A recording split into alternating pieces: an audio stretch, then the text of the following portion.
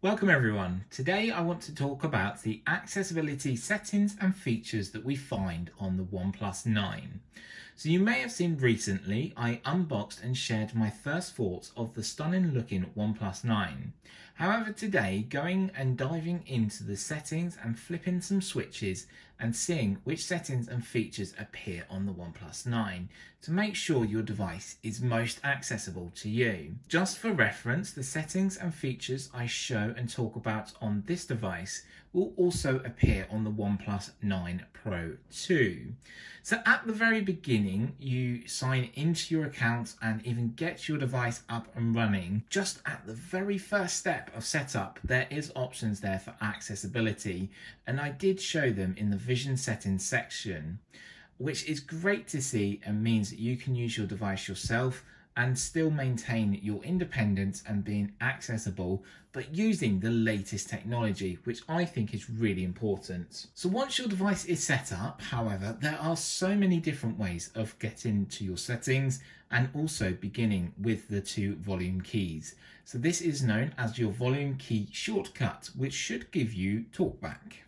So using the two volume keys that are down the left hand side, press and holding them together, talkback has begun. It took you into a tutorial to start off with. There's loads of steps there for navigation, movement and control options. So talkback will talk back everything you see on your display. So it's picked up our home screen option here, plus it will include applications, phone, messages, Chrome, camera, gallery.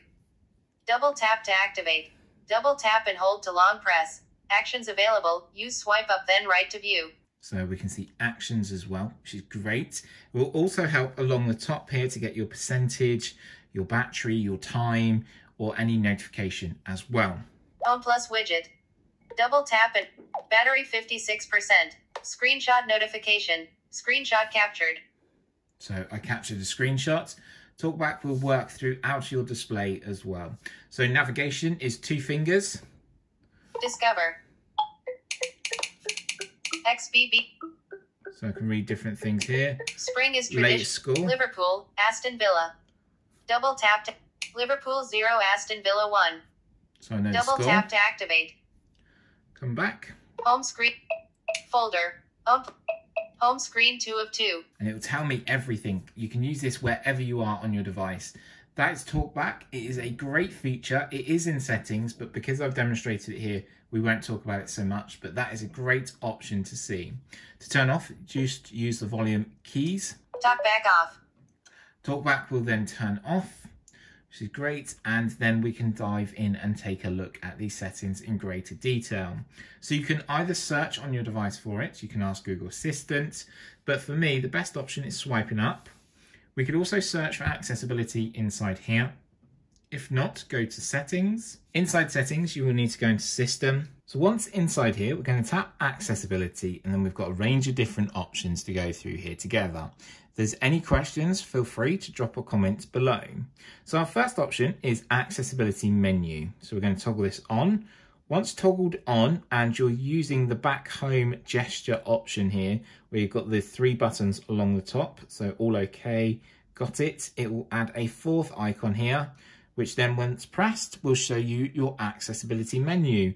And we can jump into any settings here to make it easier for you. Great. So if I just press back here, that'll take us back to the accessibility menu. We can toggle that on or off there. Really nice option to see here. Underneath that, you then have the option of select speak. This is slightly different to talkback. This will only speak and narrate things back to you that you've highlighted and ask it to do. So let's toggle this on. And again, this is going to give you the fourth icon down here at the bottom. Just remind you where it is. So we can see we've got paragraph down here. So press this icon here. You've got the play and the record or pause button there. And I can select this area. No text found at that location. When select to speak is on, you can tap specific items in your screen to hear them read aloud. So if I stop this now and then start again, it will go from the top. Options. Select to speak shortcut. Accessibility button. On. So if you realised it actually started at the top there, whereas when I selected the option, it started down here. Select to speak will work with text messages, will work with Messenger, WhatsApp, however you want to use it. Facebook, it will work, no problems whatsoever. Underneath that, we have switch access. So switch access will give you the ability to use switches and controls to use your smartphone. So if you're not able to use your hands with your display here or find it a little bit difficult, you can use switch options and buttons to control this. Jumping into settings, you're going to find a very wide range of settings here to change, adjust, and just fine tune to the best for you, making it more independent and making you free to use your smartphone just like everyone else. Really nice options to see there. Just briefly, as I've mentioned this already, is the talkback feature. And again, with inside here, you can go into settings, change and adjust when and how it will work and the flow of it for you. So that's the talkback as I discussed. That will work wherever you are and that will talk back instantly everything that is on your display. So a little bit different there to the select to speak option. But talkback is one of my favorite options to use. Underneath that, we've got text to speech outputs. So this is where you can change your rate and your tone. So the speech rate and the pitch of it. So we can demonstrate here. This is an example of speech synthesis in English. That's actually quite slow for a lot of people that use this on a regular basis. So if I play it again, it's playing the same sentence. This is an example of speech synthesis in English. Exactly the same sentence there, but that is the normal standard speed. Change the pitch as well if you want to. This is an example of speech synthesis in English. So, or you could make it a bit deeper. It's up to you. This is an example of speech synthesis in English. It's just up to you. You press reset here and it resets to default. So you can change and adjust the options there to you. We then have font size. So you can change and adjust the font size here, which I've already done, just making it a bit easier for me. Then we've got display scaling, so you can change this a little bit. So we've got default at the moment. I might actually go to large, or it's got another option there as well.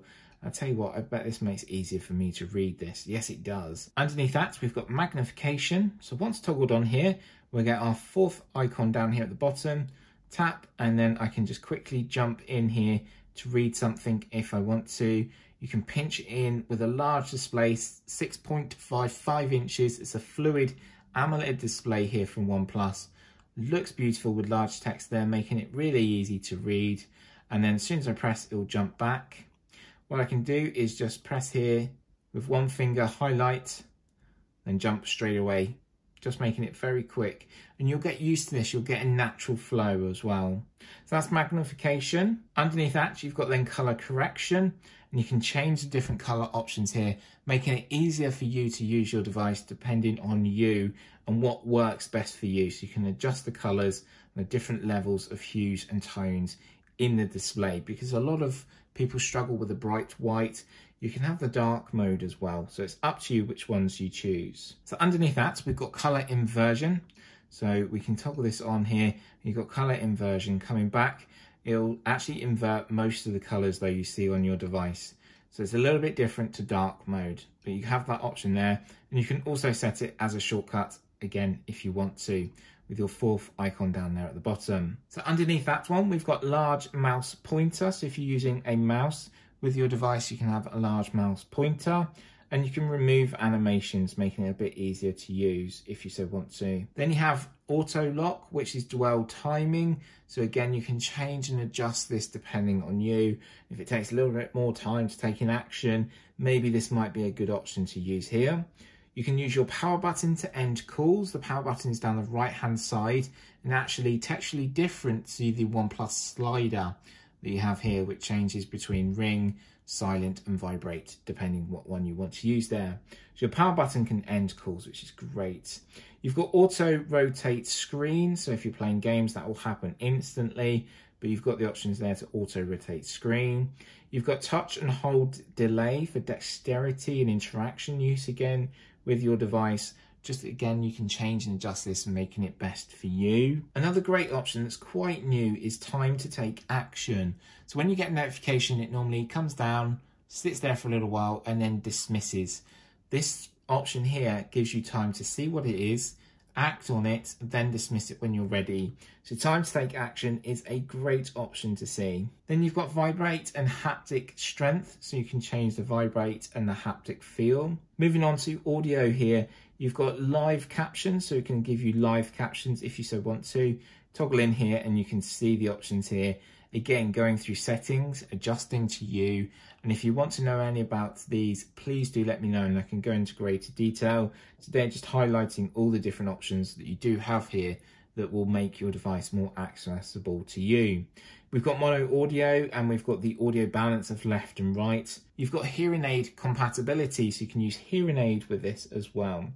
Underneath that, you've got caption preferences and you can change and adjust the caption preferences here. We also then have high contrast text. So if I toggle this, it becomes a little bit more bolder, a little bit more easier to read. We've got an advanced option, which I've never seen before, which just has shortcut for lock screen. So that means you can get to these settings on the lock screen if you so want to. So that's the settings that we see in accessibility. Let's just come out of that. Shame it's not in the main list here, but you could search for it as well as I've shown.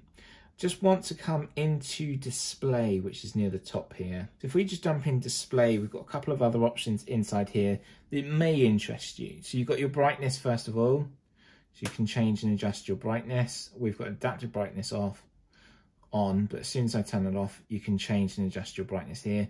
We'll stick to the adaptive brightness. You've got comfort tone, so again, that will help with comfort. You've got advanced options, again, you can go inside here, um, which was the other one I want to mention, is the dark mode. So toggle on dark mode, it makes it a little bit easier for you to read, but going home, it keeps the same colors and same tones of the applications, which is great to see as well. So let's just jump back into our menu here, come back. Is there anything else? Again, we've got font size, the scaling, the status bar, which is up at the top here. But that's about it. That is all the accessibility settings that we find on the OnePlus 9 here, which is great to see.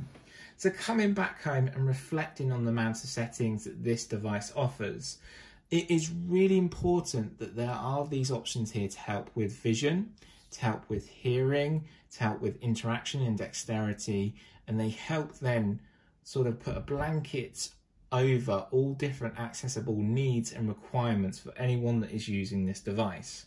So thank you so much for your continued support in the channel and truly it is growing beyond my wildest dreams and I really do appreciate every comment, subscriber and viewer. I will share the links in my description to OnePlus and Amazon.